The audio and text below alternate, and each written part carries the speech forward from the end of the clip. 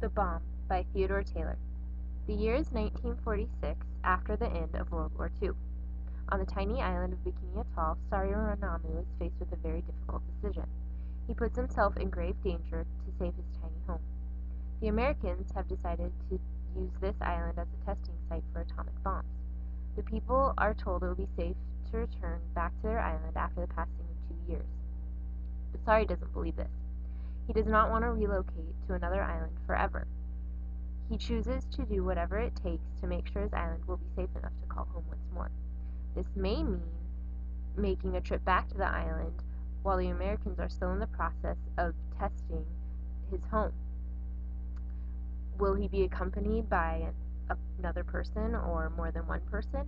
What is it he chooses to do to save his home, and will he be successful? You will find out by reading The Bomb by Theodore Taylor.